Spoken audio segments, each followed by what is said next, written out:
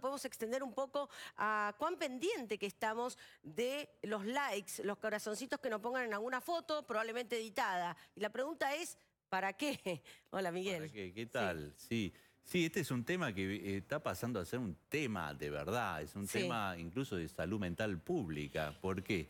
Porque cada vez si uno entra un, un colectivo, un tren, un lugar, ve todo el mundo mirando sus celulares. celulares. Y eso involucra un montón de cosas. Por ejemplo, estar pendiente de las redes, estar pendiente de lo que uno ha puesto en las redes y sobre todo lo que el, efecto que eso que uno puso eh, en términos de ¿qué? de likes. ¿Cómo te califican? ¿Cómo te califican? Exacto. ¿Qué ranking tenés? ¿Cuantificás eso que es la vieja... Este, manera que tenía el ser humano de sentirse querido, que es a través de la mirada del otro. ¿no? ¿Cuánta gente te valora? ¿Qué tipo de valoración hacen de vos?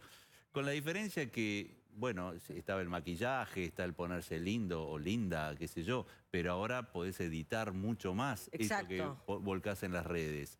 Desaparece toda una suerte de industria de, de la estética o de un esteticismo, para decirlo mejor, que edita justamente lo que uno es para conseguir algo que a la larga termina siendo como espuma. Es como una suerte de vida editada, ¿no? Eh, una vida que corre en paralelo a la nuestra, eh, en donde mostramos tal vez, eh, ponemos más expuesto el deseo, el deseo de cómo querríamos ser. Claro. y, lo editamos, editamos ese deseo. editamos ese deseo y nos, y nos subordinamos a los parámetros que otros ponen al respecto. Exacto. Está como en el aire, qué es lo que hay que poner. ¿Qué es lo que hay que hacer y lo que no? Entonces, eso, mucha gente lo hace cómo podemos nosotros peinarnos o, las mujeres maquillarse o ponerse ropa linda, hasta cierto punto tiene que ver con una dinámica, por así llamarlo, saludable de la vida de relación. Pero cuando eso empieza a tomar otra forma y a ah. cautivar a las personas y a subordinarlas en exceso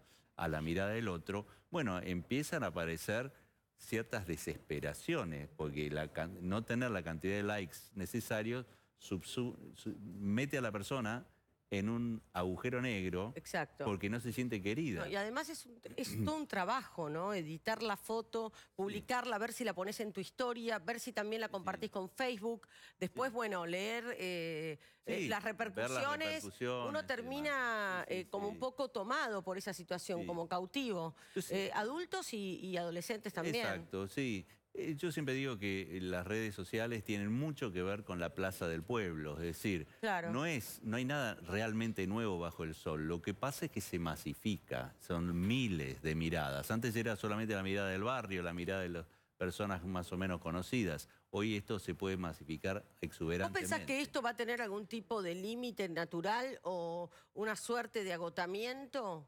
O eh, de las personas que son usuarios de un hartazgo como pasó con otras modas? Eh, ojalá, ojalá porque es mucha espuma y al final de la vida, cuando uno empieza a transitar la vida, se da cuenta que otras son las cosas que, realmente son valiosas y son menos fallutos los afectos que vienen desde de parte de aquellos que te conocen como sos de verdad, ¿no? Porque aquellos que conocen tu vida editada están en ese juego de espejos que dura un cuarto de hora en lo que es la vida. Pero bueno, lo que pasa con los afectos más entrañables son aquellos que nos conocen en el backstage, nos conocen a la mañana cuando nos despertamos. Cuando editamos una foto y buscamos los likes, cuando editamos esta vida paralela que tiene más que ver con, el deseo que con la realidad, ¿estamos engañando a los otros o a nosotros mismos?